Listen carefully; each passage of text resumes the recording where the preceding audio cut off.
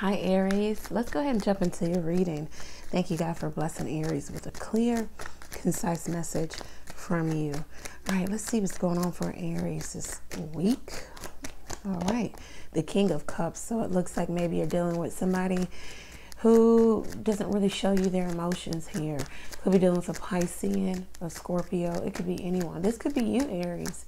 It's like you're being really emotionally balanced maybe focused on business matters.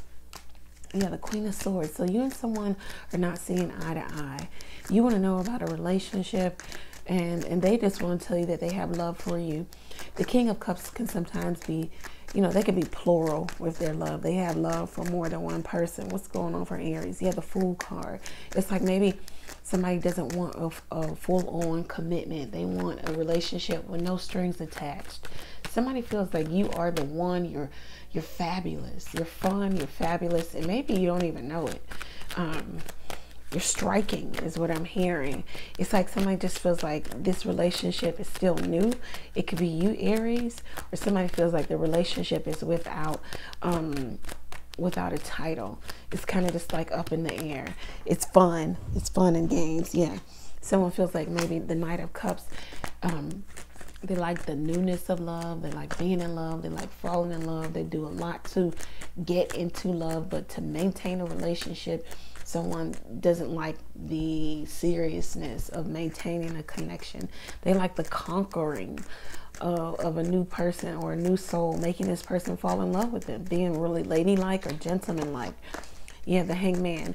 But it seems as if when it comes to having something real, this person is not ready to make the sacrifice. And, and maybe they just kind of like bow out. So this is somebody who takes a step back. And this is also somebody who look, who's looking at something from a different perspective now saying, why haven't I had what I really wanted?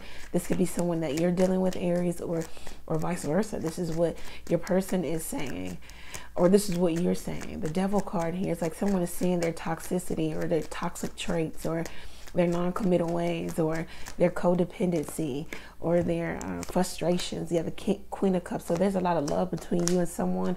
It just seems as if it's hard to get along right now. And maybe the relationship is without form because it started that way. It started with no intentions. And then it, and then it, you guys fell in love with one another. So it was like, it's kind of like working backwards. Like, okay, now we're in love. What do we do? It's like if you guys are separated, somebody does want to come back. They want forgiveness. They want to be in a relationship. They're seeking a one on one connection right now. And they could be spying on you via the tarot or this is what you're doing. But somebody also could be in a relationship or uh, someone's just not sure if it's going to be a committed connection. So this is what I have. Excuse me. This is what I have for you, Aries. If it resonates, let me know how it resonates for you down in the comment section.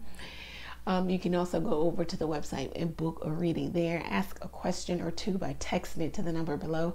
You can also catch me live every Tuesday, Thursday, and Sunday night, 9 30 p.m. Eastern Standard Time. Thank you, Aries. Many blessings to you. Take care.